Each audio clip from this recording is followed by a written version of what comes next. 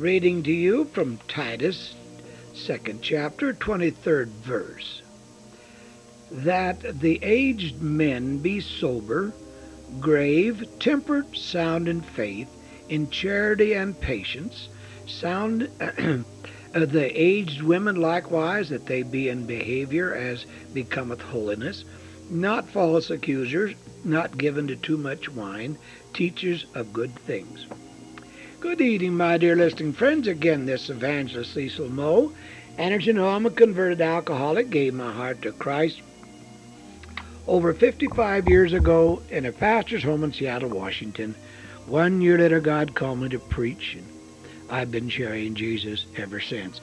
Well, friends, continue to pray for our health. We're still struggling, but we have a wonderful Savior that knows how to heal bodies. Well, listen, I'll be with you for a half an hour tonight. I wish you'd just kick off your slippers, sit back and relax. Pour you a glass iced tea or a lemonade or a cup of coffee. Let's see what the Lord has for us, okay?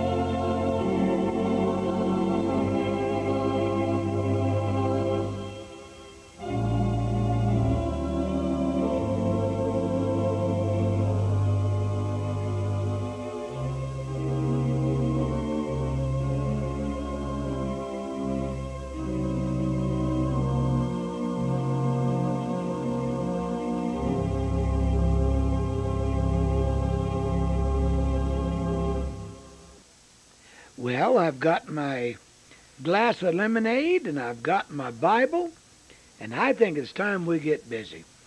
We've labeled this message, Why Christ Must Return. Turn with me to the first chapter of Luke. Let's begin reading with the 67th verse.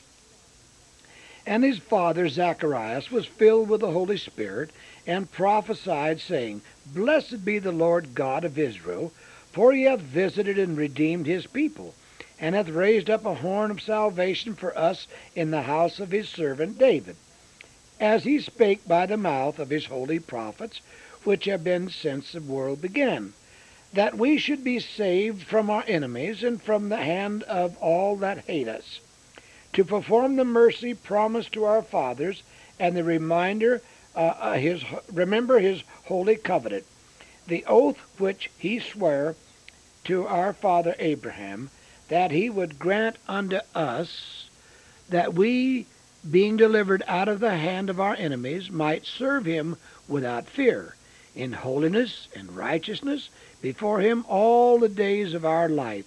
And thou, child, shalt be called the prophet of the highest, for thou shalt go before the face of the Lord to prepare his ways. to give knowledge of salvation unto his people by the remission of their sins, uh, through the tender mercy of our to them that sit in darkness and in the shadow of death, to guide our feet unto the way of peace. Well, friends, why Christ must return. All of the promises of the prophets must be fulfilled. Now, many prophets prophecies, I should say, about Jesus was fulfilled in his birth in Bethlehem. And many prophecies about Jesus was fulfilled in his death and resurrection. But some prophecies about Jesus remain unfulfilled. We have many promises that Christ would return, all right? Here's one of them, John 14:3. And if I go to prepare a place for you, I will come again and receive you unto myself, that where I am, there you may be also. Well, then we also have the promises of the angels, Acts 1.10 and 11. And while they looked steadfastly toward heaven, as he went up, behold, two men stood by them in white apparel, which also said, Ye may, uh, you men of Galilee, why stand ye gazing up into the heaven. This same Jesus which is taken up from you unto heaven, so shall he so come in like manner as ye have seen him go into the heavens. And then we have the promise of Paul in 1 Thessalonians 4 13 and 14. But I would not have you to be ignorant, brethren, concerning them which are asleep, that you sorrow not, even as others which have no hope. For if we believe that Jesus died and rose again, even so them also which sleep in Jesus will God bring with him. Well, why must Christ return? Well, Christ must return to complete his work in the nations. You know, friends, why Jesus is going to come back. a like a thief in the night? Well, if everybody knew the minute that Jesus would bust the clouds and stand with outstretched arms saying, Come unto me all ye labor and heavy laden, everybody would get saved. Everybody would repent. But that's not the way it's going to happen. He will come as a thief in the night. Two will be in bed. One will be taken, and the other one will be stay behind. Can you imagine what will happen when the, the rapture comes? Here's an airplane full of 250 people. And we have a pilot and a co pilot, both born again believers. Do you know what that plane's going to do? It's going to crash. But those two will go on to be to heaven. It's dangerous to put all salvation, beloved. I, you say, well, Cecil, you know, I, I guess, I guess I'd be saved if I believed I had to be saved. Well, you don't have to be saved. No, you don't. But if your plans are going to heaven, then you better receive Christ as Savior. Now, well, sees I belong to a church. Well, that's fine. That's commendable. But that's not enough to get you into heaven. You say, well, I was baptized when I was a little baby. That's not going to get you to heaven. Baptism won't get you into heaven, whether you're a baby or an adult. You say, well, I'm living a good life. I pay my bills. I don't beat my wife and kids. Listen, friends. It tells us in the scriptures in Ephesians 2, 8, 9, for by grace are you saved through faith, that not of yourself. It is a gift of God, not of works, lest any man should boast. For instance, if it were possible, if it were possible for you to live a good life trying to live by the Ten, ten Commandments, which you can't do, or try to live by the law, which you can't do, and you go to heaven, if you could do that, God made a terrible, terrible mistake. But he didn't make a mistake. He sent his son Jesus to pay for our sins on the cross. Well, you say, but he was sinless. That's correct. Christ was sinless, the only Son of God. But when he when they nailed him on that cross, he became sin. He took your sin, he took my sin upon him, and died. And while he was on the cross, Jesus cried out, My God, my God, why hast thou forsaken me? You say, did he do it? Yeah. Why? Because God is a holy, righteous God and could not look on sin, and Jesus was sin that for that time. Oh, my dear friends, the scriptures concerning his work in the nations must be fulfilled in the prophet. The prophets wrote of his atoning work. Now, they wrote of his death in Psalm 22. Now, let's see, Psalm 22. All right, for thou wilt not leave my soul in hell, neither wilt thou suffer this thine Holy One to see corruption. Thou shalt show me the path of life, and, the, and to persevere in fullness of joy. At the right hand there are pleasures forever. Well, they wrote of his resurrection. And also, the prophets also wrote about his coming kingdom. The prophecies had to do with Israel and other nations. Now, many of these prophecies of his kingdom are not fulfilled. Absolutely. Zacharias prophesied the conquest of Israel's enemies. Luke 170, 74. As he spoke by the mouth of his holy prophets, which have been since the world began, that we should be saved from our enemies and from the hand of all that hate us, to, to perform the many prom- the mercy promised to our fathers, and to remember his holy covenant, the oath which he sware to our father Abraham, that he would grant unto us that we, being delivered out of the hands of our enemies, might serve him without fear. Friends, the Bible tells us the fear of God is the beginning of wisdom and knowledge. And you know the Lord uses that word fear many times. Fear not, for I am with thee. And I've told you before, every time I go in for an operation, I'd hear that still little voice, Fear not, Cecil, for I am with thee. Oh, my friends, what a comforting thought that God will be with you no matter where you are tonight. Maybe you're doing something that's wrong. And if you are, the Holy Spirit's tapping you on the heart and saying, son, daughter, now you, need to, you what you need to do is you need to turn from your sin. Tell me what you did, and I'll throw them in the sea of forgetfulness, never to be remembered again. What kind of a God is that that would forgive us? And folks, you know, and I know, not one of us are perfect. Oh my, you know we're not. We are not perfect. Well, Christ must return to complete his work in nature. You know, Christ exercised authority over nature during his ministry. He stilled the raging sea. Oh, dear friends, let me tell you something. That must have been a horrible experience. We spoke on this the other day. And those disciples were beside themselves. They were scared out of their skin. And that old sea was raging and the ship was filling up with water. And Jesus was asleep in the back part of the ship on the stern. He was sound asleep. Well, then he called out and he said, Oh, you've men of little faith. You know what? And he just said, Peace be still. And what happened? The sea quit. The sea quit.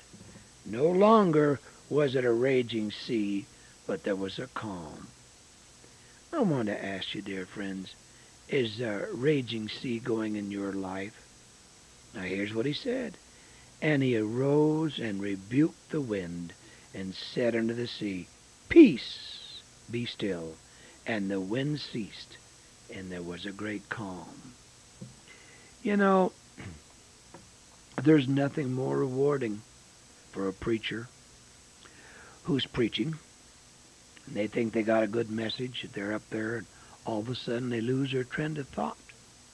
I've done that many, many times in prison. And my quartet or my wife would say, I'd say, Whoa, what was I talking about? Well, what? And they'd say, You were talking about so and so. Oh, yeah, that's right. I said, That's why I bring those people with me to remind me what I've forgot. No, uh, uh, that's not a sign of fidelity because you forget things, but Sometimes we certainly do. Now the Bible tells us in John 6:19 that he actually walked on the water. So when they had rowed about 5 or 20 or 30 furlongs, they saw Jesus walking on the sea and drawing nigh unto the ship, and they were afraid. Well, I guess it would kind of give you a little start. But there he was walking on the water. You know, there's a lot of preachers kind of think they walk on the water. Well, they can if there's ice underneath it. No, we preachers don't walk on the water. You know what we are, or what all Christians are? We're messengers. We're instruments. Our job is to share this wonderful Jesus who walked on the water, who stilled the raging sea. We're to tell people about him. Now, uh, Ken Jackson's a, a pastor friend of mine, and Brother Ken had the same operation that I had. Well, he had no problem with his, but I'm having all kinds of problems with mine. And I don't understand it, but that's okay. It's different things. Different strokes for different folks. Well, anyway, Christ exercised authority over nature at his death. Now, the Bible tells us the sun was darkened, Mark 27:45.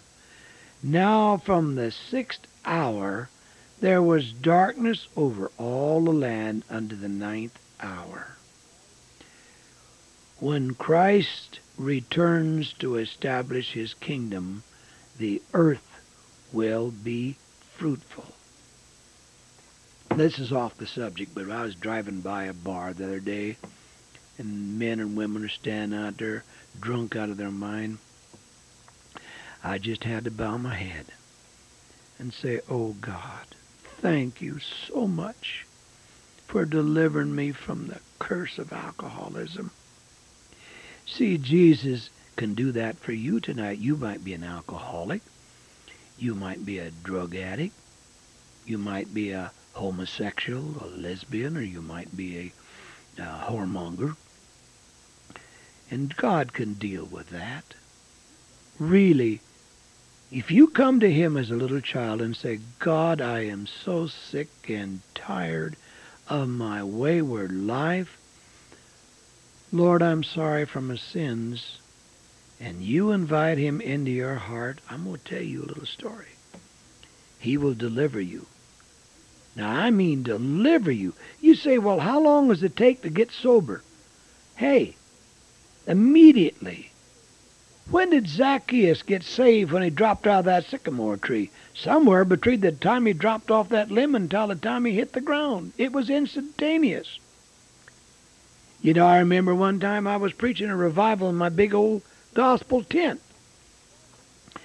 And this farmer, this dairyman, stood up and he said, uh, Glory to God, I got saved last night. I said, uh, Well, tell us about it.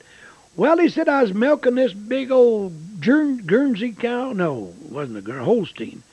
And she kicked me. I said, Oh?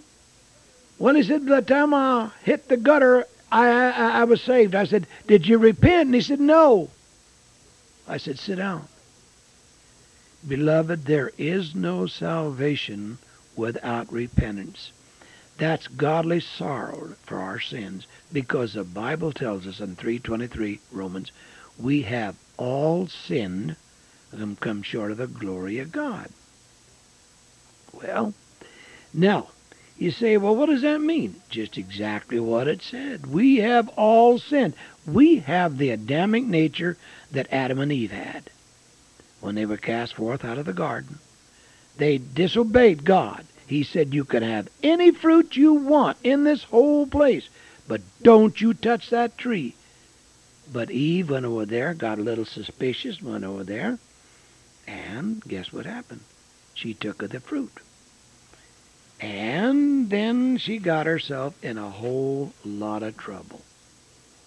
Well, Christ must return to complete his work in new believers. Christ began a good work in us at our conversion. And I know you say, well, I don't know. Yes, he did. Now, we are made new creations, creatures. 2 Corinthians 5.17 that therefore if any man be in Christ, he's a new creature. Old things are passed away. Behold, all things become as new. You see, the thing is, you uh, you you no longer believe that way that you used to believe. Oh, friends, I'm so glad. I'm so glad that that that, that is in the scriptures. You say, well, why? Well, because my wife, she had a terrible time she thought that she lived a good moral life and that was enough. Don't drink, don't smoke, don't cuss, and you're all right. Well, I know I know some other people used to believe that way, but when the Holy Spirit of God got a hold of them, they changed that. Because you can't live a moral life and plan on getting into heaven.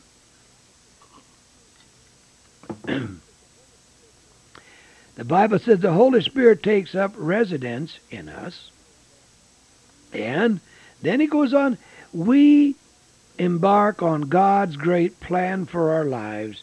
And here's a scripture, my dear friends, that you and I all have problem with. Romans 8 to 8. And we know that all things work together for good to them that love God, to them which are called according to his purpose. Yes, God had a plan, and you and I and who know Jesus are in it. Yes, you do. Can you imagine? You say, you mean God's concerned about me? You sure is. We are not, not yet what we ought to be. We are still works in progress. God is not through with us yet. When Christ returns, we will be like him. Now, the Christ of Christmas is coming again. He's preparing us for that great day. Let me ask you, are you ready for Christ's return? Beloved, you know when I was in the Navy, I uh, we had, to, had a book called the Bluejacket's Manual. And I was reading that one day and I was telling that I was I was homesick and I I didn't like a lot of things the Navy was making us do. Well, it was for our own good. One day it said, you're going to be in battle. And uh, because you learn to follow orders, you'll save your life. And sure enough, our ship was out in the South Pacific, and our engine broke down. And was out there all floating all by ourselves. No destroyers, no nothing to protect us. And they sounded G quarters in less than three minutes from the time they sounded GQ. Every man was on his battle station. Every man was on his gun station. All of us phone talkers were ready for battle because we knew how to take orders. You know why we go through a lot of problems as Christians? Because he is training us to be better soldiers. But most of all, I want to ask you tonight, have you have you really thought about dying and going to heaven? Well, that's one that's one thing I wouldn't talk about to anybody when I was lost. I was so afraid that when I died I was going to hell. And I was the way I was going as an alcoholic. The Bible said no drunkard's going to go to heaven unless they've been converted. If you haven't been converted and there's a tugging at your old heart tonight, would you bow your head with me? And I wouldn't want you to pray this prayer unless you mean it, and here's how it goes.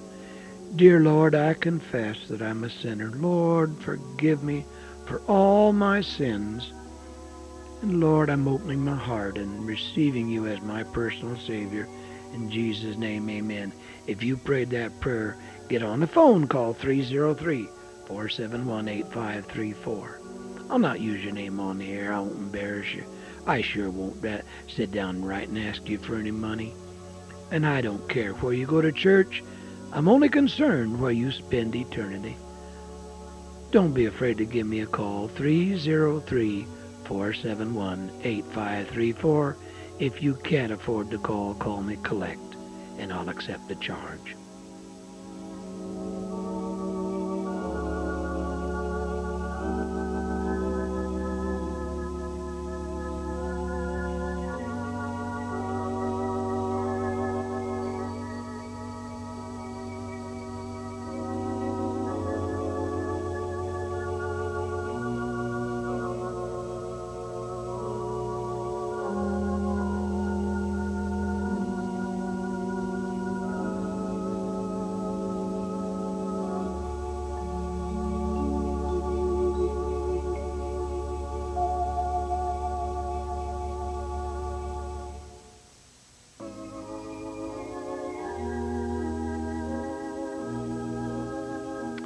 Well, friends, for the past half hour, your host has been Evangelist Cecil Moe. I want to thank you for listening, dear friends. Oh, my friends, I want you to know God loves you. I know you're going through some tough times, so am I. But He loves us. He careth for us. Peter said, casting all your care upon Him, for He careth for you. And He sure does. Well, listen, you say, well, Cecil, you know, I'd like to talk to you person would just get on the phone and call me 303-471-8534. I won't jump on you. If you want to ask me a question, I don't know the answer, and I don't know all the answers, I'll guarantee I'll find it for you. Because all the things that you need to know in life is in this book, this God's holy, unerring word. Well, friends, until this time next Sunday night, we ask for your prayers. And I want you to be, stay sweet, keep looking up, for this wonderful, wonderful Jesus is coming soon. Good night, and may God bless you real, real good